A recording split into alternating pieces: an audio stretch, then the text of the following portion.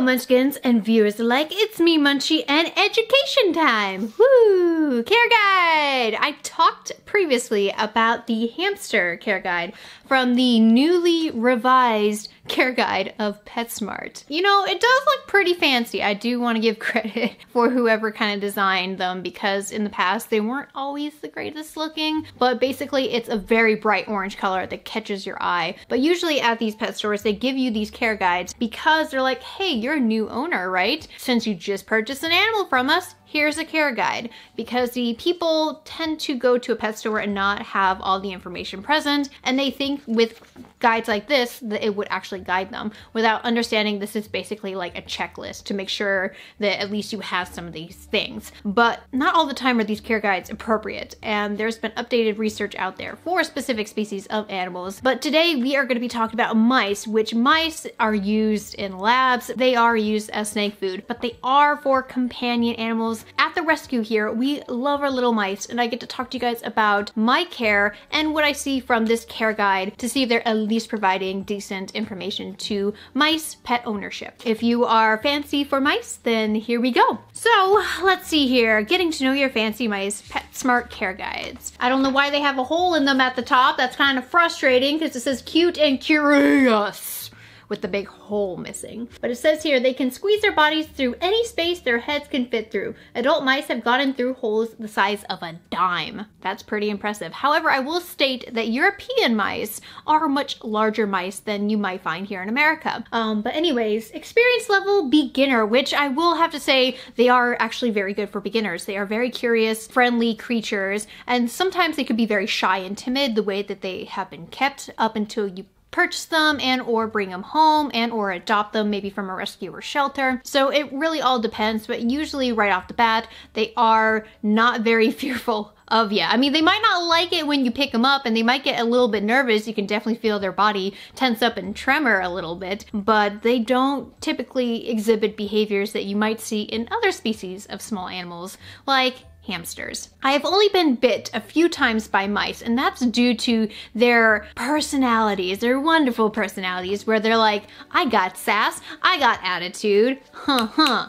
But just in general, mice are very social creatures, so they do need to be with their own kind. However, with males, it's a little bit more complex because if you don't neuter a male mouse, they have to remain alone, and that can be very upsetting because they are such intelligent little creatures, and it would just make them really depressed. So if you have a situation like that, I just want to say here, you want to make sure that you can at least neuter your male mouse and add them to a female colony of at least two females. Or what you can do is you can put your lone mouse up against others. While they cannot be in the same space if they're not fixed, they at least can smell each other and to keep each other company. And it does kind of suck here in America because for male mice in general, you don't really have a lot of exotic vets who can specialize in in surgery for male mice, but it is starting to be more uncommon than rare. Size, fancy mice grow up to two to three inches. They live for approximately one to two years, which in my case, yes, that is definitely correct. Fancy mice can learn basic tricks which is true. They definitely are very smart, just like you can see a lot of uh, rat videos out there. There's definitely some mice that you can actually teach when it comes to tricks. They can live together in the same gender pairs. Now, like I said previously,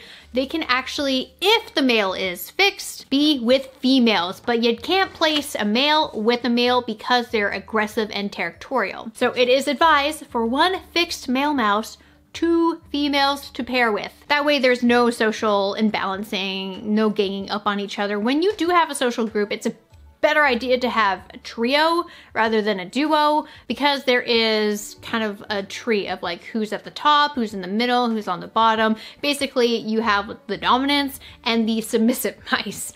So you try to balance that out with any sort of social colonies. But how do I set up my fancy mouse habitat? Which, I didn't even look at the picture yet. Oh, okay. No, it's the tiny cage. So this is their all living things cage and it, it just doesn't provide enough enrichment. Like they're trying to show you that, oh, look at these ledges here. They look really big, right, in the picture, but in person they actually look very small and they're not really going anywhere. You're not able to provide any sort of enrichment or put in large hides or climbing toys. You can pretty much see it's already crammed in here and there's really not that much. House your mouse in a habitat that's at least 12 by 12. So 12 by 12 is only 144 square inches of floor space. Now for mice, they actually can benefit from both vertical space and horizontal space. It is ideal to do at least more horizontal, but for mice, you can at least go very tall with that. So they can definitely have tall enclosures, but mice benefit from actually making burrows and places they can nest in, while they can benefit from vertical space like ladders and ledges and hammocks. So they're not like hamsters, which everybody gravitates towards. And a lot of times people are just not aware exactly what enclosure is for what species because companies like to just slap on that it could just be for a hamster without identifying like what type of hamster. Or not understanding that no, it should not be for hamsters. You're just doing that because you think all small animals are the same. They are not the same, so we have to treat them differently. But for the majority of just having hamsters, gerbils, and mice here at the rescue. They do tend to use the same type of stuff. However, gerbils don't use plastic. Mice. Ooh, let me talk to you guys about mice and plastic. I don't actually like adding plastic anymore to mice enclosures. And that also counts as the kind of plasticky wood that almost looks fake, but it's, it's literally called plastic wood, which is so bizarre that they do that, but it's supposedly wood. It's just fancier wood. But I usually just do a natural themed, whether it be straw or wood in general. I just don't let mice have plastic because they are busy workers. They like to take apart stuff and turn them into nesting material. Much like gerbils, where if you put hay inside of there, they'll grind them up. Same with mice. They will try to grind it up. They'll take their pieces, they'll put them in their nest, they'll keep them warm. And it's just a good idea to add natural hide to your mice's enclosure. Now I've seen people use plastic pieces before. I've seen them use like uh, toddler Playskool stuff that they can put inside of their tanks for mice to climb on, but it's just, in my opinion, not really safe to be using outside plastic like that that's supposed to be for human. However, Playskool, if it's for toddlers, you would think it'd be safe, but I really don't trust a lot of stuff, especially when you hear in the past, as I was growing up, that, oh, this toy had high traces of lead that was found in China and all this stuff, and it kind of freaks you out a little bit. So there are plastic pieces being sold in pet stores for animals, but I just know as a mouse owner in general, they chew up plastic. They will, especially the corners. If they want to just gently chew it up, they will. And it just, it feels more destructible than when you see hamsters chew it up. It doesn't mean that the mice are stressed when they chew plastic. This is just kind of how they are programmed. They're programmed to forage together nesting materials to put them away. I mean, if you've seen cases or stories of mice taking stuff and putting it places, or just in England, I think there was a mouse that like would clean up a little man's workshop and put all the pieces back into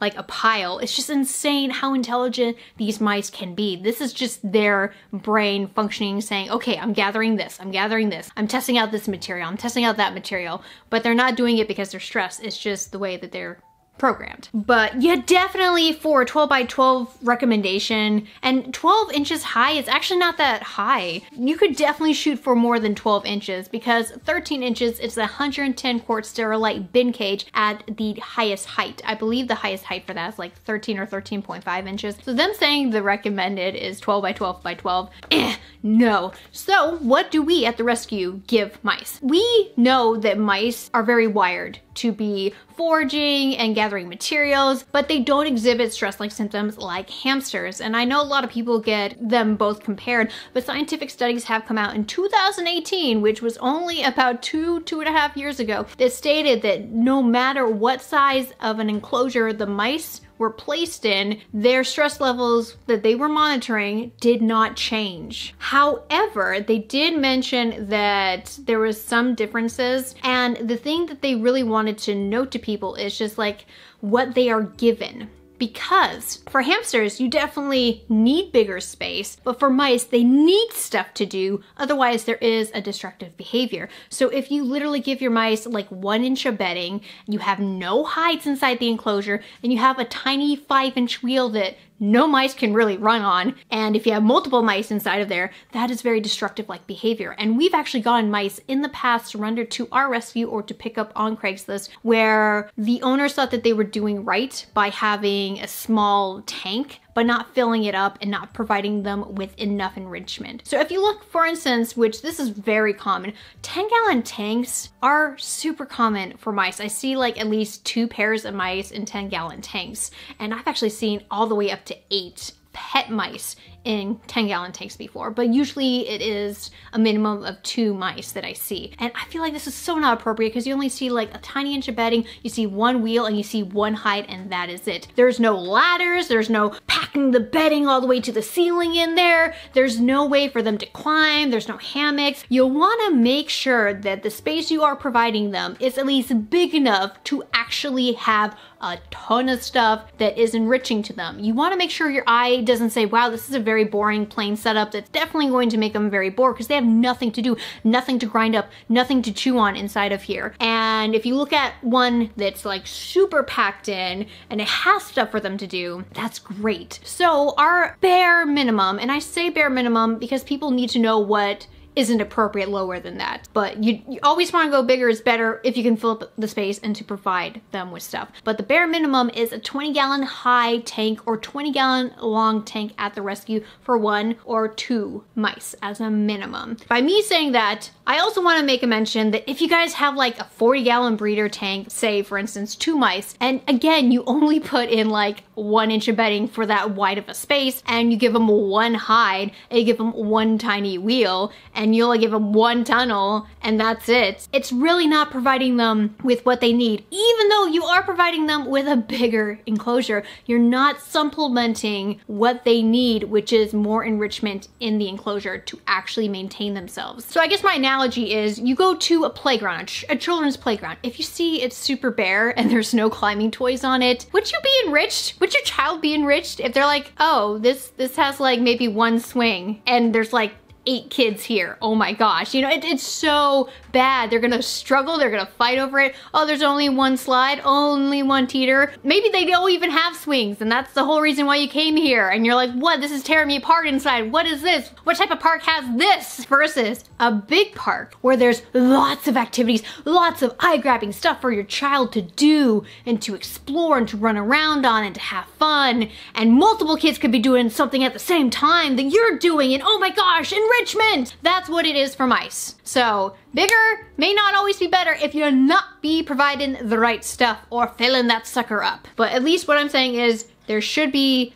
a big enough space so that you can fill that sucker up and it does feel like it's appropriate with all the nesting materials and hides and places for them to climb in. And filling up that bedding too because they like to burrow. But anyways, at least start off with that. If you guys want your minimums to be higher, that's totally fine. Bigger definitely can be better if you fill it up. If you fill it up. Place the habitat out of the direct sunlight in a low humidity area that's between 65 and 75. That's appropriate. Uh, line the habitat with an appropriate amount of cleaning bedding. The bedding should be spot cleaned as needed and changed as directed by product packaging. Mice are not easy to clean up after and when they say here line the habitat with an appropriate amount of cleaning bedding, the bedding should be spot cleaned as needed, they don't know when you're supposed to spot clean it. They're just trying to say if you eyeball it and you think it's dirty, clean it. But in my recommendation, mice get filthier faster than hamsters because you might have multiple mice inside of there and mice will just poop and pee wherever they please. They're not like Syrian hamsters that pick a corner and pee in that corner and they call it good. Mice will go everywhere. So you have to, every time you have a plastic piece of hide in there, you would have to kind of rinse it underwater, scrub that sucker down, and then place it back inside of there. Or clean gently with wood hides. But you're gonna be wanting to get rid of all of the bedding inside of there from a deep clean within I wanna say three weeks. But spot cleaning, I would say you probably have to do every couple of days if you really want to. Your mouse's habitat should include hides where it can play and chew clean hides regularly. Housed together, mice can become territorial and aggressive. Each needs a separate food bowl, water bottle, and exercise wheel. Now the funny thing is,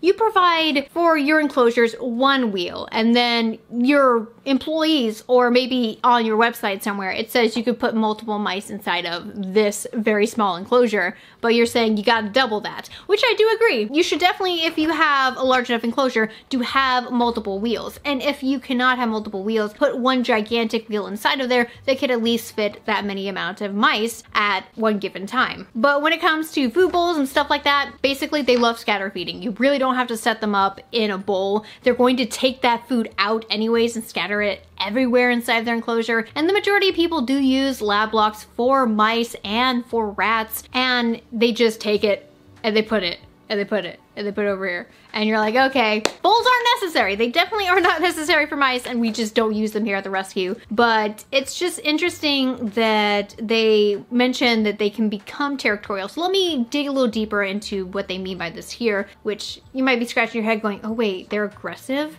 But you say in temperament they can live together, but now you're telling me they're aggressive. Why is that? It's vague. Even if you have female mice that have lived for years together, there is always going to be fallout. Possibly, possibly. I'm not saying that, you know, you have to brace for impact here, but it's a possibility that your mice fall out. I have heard of horror stories with female mice actually attacking each other or killing each other, which is very rare because female mice are not territorial like male mice and they don't actually gender specify in here what they mean by aggression and who's the more aggressive that you need to watch out for. And you might see that a lot in pairs. So if you have trios, it's less unlikely that they're going to be aggressive towards each other. But if you have pairs, you might see the warning signs of biting, blood being drawn, there's some sort of neurological problem going on, and you're like, wait, wait, wait, how did you get that? Sometimes if another mouse attacks another mouse, and if they bite them, they can get infected from their saliva. It's not good. And that's how a lot of people, especially in pet stores, find out that, oh, that mouse that's in there that's bobbing its head, that's that's kind of weird. Why is it bobbing? It's due to most likely being attacked by other mice and having an infection. And a lot of the times you just don't heal from that, especially for small mice like that. So when it comes to being aggressive, you just, it's, it's so uncommon to see females fighting, but if it does happen, you gotta separate. It is possible to try pairing them back up again at a later time, but it is a possibility that your mice have to be lone mice or they have to be with another mouse that is compatible with them. However, again, it may not actually work. This mouse may turn out to be aggressive, and I've had one aggressive female mouse in my life, and her name was Periwinkle. No matter who we paired her with, she would not bow down to other mice and became a problem of herself. So she unfortunately, even for me, she bit me. She she just would sporadically attack me. And I'm like, why? I love you. I'm just keeping you here. It's just sometimes the way that they're programmed up here, it might not always work. That's what they mean by aggressiveness. What should I feed my fancy mouse? One times daily pelleted food. This is 75% of your fancy mouse's diet. Keep the bowl three quarters full at all times. Now there is seed mix out there for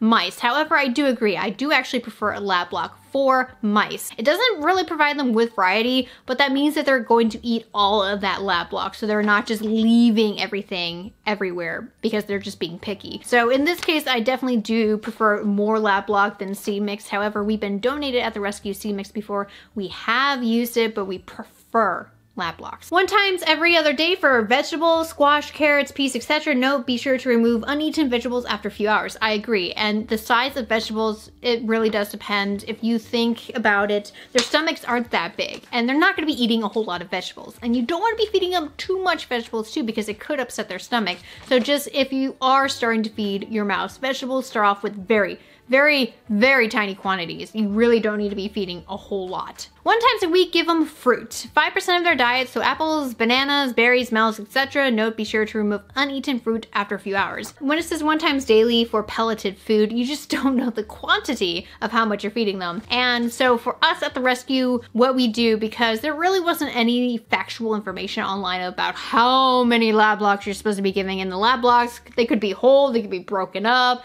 you don't know. So for a while, I was just giving two tablespoons worth of uh, lab blocks every two to three days. And I made sure to watch inside of the enclosure to see if they would eat all of their lab blocks. And sometimes they'll take them back to their nest, spread them out. But in this case, I could tell when they had leftovers to feed them a little less, or if you didn't see any at all, feed them a little more. I've never had overweight mice before, but the only thing that would be concerning if you start to notice your mouse getting bigger would be fluid in the abdomen and tumors. These are very common in mice. Usually fluid in the abdomen means that there's some sort of organ failure, potentially, and that could be a cause for concern. And tumors are very common, especially in the abdomen and in the um, private area of females. If you start to notice your mouse getting bigger, it might actually not be due to the food you're feeding it. So when should I contact a veterinarian is the next part. It says, in addition to regularly scheduled appointments, contact your small animal veterinarian if you notice the following. Cloudy, sunken, or swollen eyes, which you can tell when your eyes are very bright, they're very bright and open, and like when they start to look kind of groggy and they have them kind of squinted and closed, it's definitely a cause for concern. Overgrown front teeth. Now this is kind of very hard to see in rodents and your mice will struggle. They just, they don't want to sit. If you ever want to check the gender of your mouse, it's so easy. You can just lift up their tails. But if you're trying to flip over a mouse to do a health check, that is extremely hard. I hate it. So trying to check for your overgrown front teeth, all you have to do is provide them with chew toys, which